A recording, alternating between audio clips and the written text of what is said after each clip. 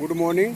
14 अगस्त सुबह सात बजे टाइम है। सेक्टर सात में जो पेट्रोल पम्प के पास में साइकिल ट्रैक क्रॉस कर रहा है, इसका आप ध्यान से देखें।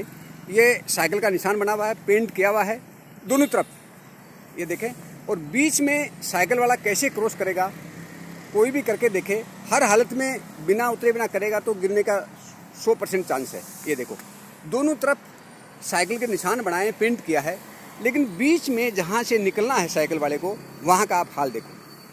ये देखो, ये हमारा जिम्मेदार अफसर जो है इंजीनियर हैं, जो साइकिल ट्रैक को डिज़ाइन करते हैं और मेंटेन करते हैं और बनाते हैं। इसको सख्त ज़रूरत है कि ठीक किया जाए। ऐसा ही पूरे शहर का हाल है।